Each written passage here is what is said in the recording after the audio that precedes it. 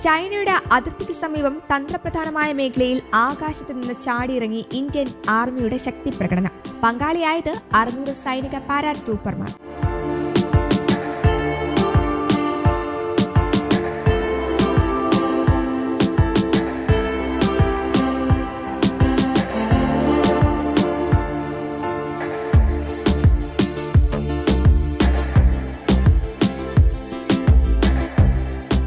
വ്യോമാഭ്യാസത്തിനിടെ Indian ആർമിയുടെ airborne rapid response ടീമിലെ അറുന്നൂറോളം പാരാ ട്രൂപ്പർമാർ സിലിഗുരി ഇടനാഴിക്ക് സമീപം ആകാശത്ത് നിന്ന് ചാടിയിറങ്ങി ശക്തി പ്രകടനം നടത്തി. ഇതിന്റെ ദൃശ്യങ്ങളാണ് ഇപ്പോൾ സമൂഹ മാധ്യമങ്ങളിൽ ശ്രദ്ധ പിടിച്ചുപറ്റുന്നത് ചൈനയുടെ അതിർത്തിയോട് ചേർന്നാണ് ഈ പ്രദേശം. മാർച്ച് ഇരുപത്തിനാല് ഇരുപത്തിയഞ്ച് തീയതികളിൽ നടന്ന അഭ്യാസത്തിനിടെയായിരുന്നു ഈ പ്രകടനം. തന്ത്രപ്രധാനമായ മേഖലയിൽ കഴിഞ്ഞ മൂന്നാഴ്ചക്കിടെ ഇത്തരത്തിൽ രണ്ടാമത്തെ അഭ്യാസമാണ് ഈ നടക്കുന്നത്.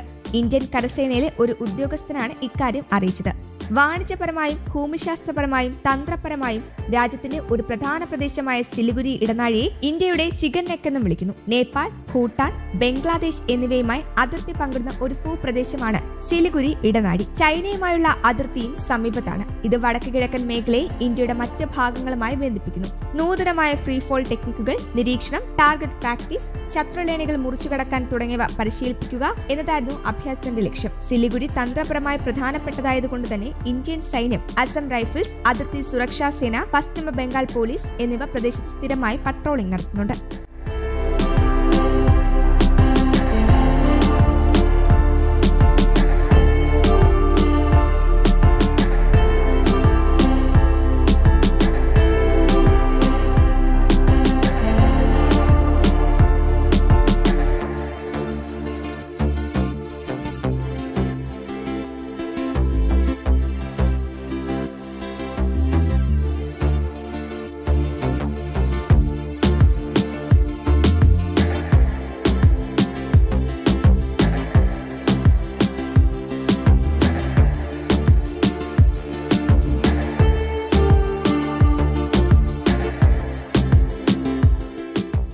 News desk Kerala Kaumudi